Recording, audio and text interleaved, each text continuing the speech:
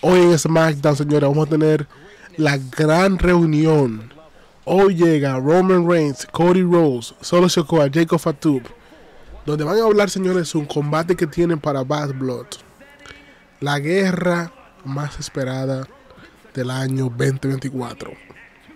Como acaban de reportar, señores, en la página de WWE.com, Roman Reigns se ha convertido en un luchador full time, a tiempo completo. Lo que significa que Roman Reigns va a estar con nosotros todos los viernes en SmackDown. Eso es algo muy especial porque Roman Reigns es una persona que tiene el aura para enganchar a los fanáticos. Roman Reigns se ha convertido en John Cena de esta era, el, Stone Cold de esta era, la Roca de esta era, el Hulk Hogan de esta era. El tipo ha evolucionado para ser la cara de la empresa. Y digan lo que digan los haters, que Roman Reigns no es esto, Roman Reigns es lo otro el tipo tiene, la tiene, la tiene, la tiene, la tiene. Señores, octubre 5 tenemos el combate Solo Sokoa y Jacob Fatu versus Roman Reigns y Cody Rose. Un combate en parejas de dos contra dos. ¿Qué te en la caja de comentarios? ¿Quién debería ganar esta lucha? ¿Quién debería salir victorioso camino Bad Blood octubre 5 desde Atlanta, Georgia? ¿Quién merece tener esa victoria? Porque va a ser una gran victoria.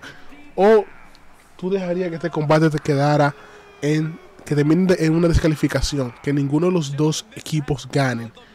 Muchos rumores se están diciendo de que por fin va a aparecer otro primo de la familia samoana, va a llegar en Bad Blood y va a ayudar a Solo Sokoa ganarle a Roman Reigns. Hiku Leo. Hiku Leo es, es familia de Stama Tonga, de Tongaloa. Y mucha gente piensa que Hiku Leo es la próxima estrella samoana en debutar en Bad Blood. Comenta, activa la campana y suscríbete. ¿Quién debería de ganar esta, esta guerra entre samoanos? Tenemos por un lado el equipo de Roman Reigns. Por otro lado tenemos el equipo de Solo Sokoa. Esto es una guerra. Una guerra de familia. Comenta, activa tu like, suscríbete. Esto es una guerra familiar. Repito, señores, guerra familiar. Aquí, en la guerra y en el amor, todo se vale. Oigan eso bien, en la, en, en la, en la guerra y en el amor, todo se vale. Octubre 5 a las 6 de la tarde. Es el gran momento. Suscríbete, prende tu like.